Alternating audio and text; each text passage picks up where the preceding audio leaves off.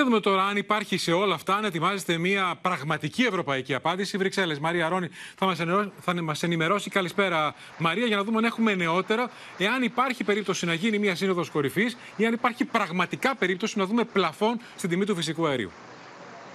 Νίκο, πρέπει να σου πω ότι σε πολλές ευρωπαϊκές πρωτεύουσες εντείνονται οι κοινωνικές αντιδράσεις για την αύξηση των τιμών στην ενέργεια. Έχουν σημειωθεί νέα ρεκόρ ε, στις τιμές ε, Γερμανία, Γαλλία, Ιταλία και Βέλγιο. Και μέσω αυτής της ενεργειακής κρίσης, μπροστά σε μια θύελα αντιδράσεων, πολλές ευρωπαϊκές κυβερνήσεις αναγνωρίζουν ότι κάτι πρέπει να γίνει σε ευρωπαϊκό επίπεδο με την αύξηση των τιμών.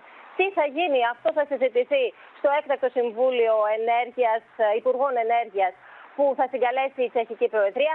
Δεν έχει ανακοινωθεί ακόμα η ακριβής ημερομηνία, όμως είναι ένα συμβούλιο το οποίο ε, ήταν έτοιμα από πολλές ευρωπαϊκές κυβερνήσεις.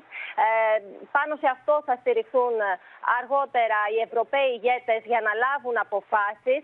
Ε, δεν γνωρίζουμε ακόμα αν θα γίνει μια έκτακτη σύνοδος κορυφής. Θα εξαρτηθεί από τις εξελίξεις αυτό.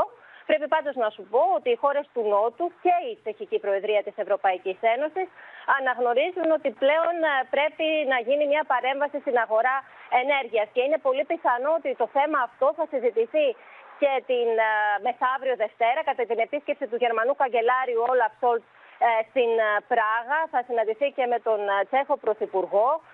Θα τεθεί και το θέμα για πλαφόν στο φυσικό αέριο, ένα θέμα ταμπού για τη Γερμανία μέχρι τώρα. Είναι όμως ένα θέμα που η Τσεχική Προεδρία έχει πει ότι θα το θέσει στο έκτακτο Συμβούλιο Ενέργειας μαζί με την αποσύνδεση τιμών ηλεκτρικού και ενέργειας και εν ώψη ενός δύσκολου χειμώνα που έρχεται αναμένεται να συζητηθούν σε αυτό το έκτακτο Συμβούλιο και ε, συγκεκριμένα μέτρα έκτακτης ανάγκης για να βοηθηθούν τα κράτη-μέλη, αλλά και ένα σχέδιο αλληλεγγύης για τις χώρες που το χρειάζονται περισσότερο Μάλιστα. σε περίπτωση που η Μόσχα κλείσει εντελώς τη τρόφιγγα. Νίκο. Για να δούμε αν θα έχουμε πράξεις και πόσο γρήγορα θα τις έχουμε, γιατί αυτό μετράει και τα πράγματα είναι πάρα πολύ δύσκολα. Και να σε ευχαριστήσουμε, Μαρία Ρόνη.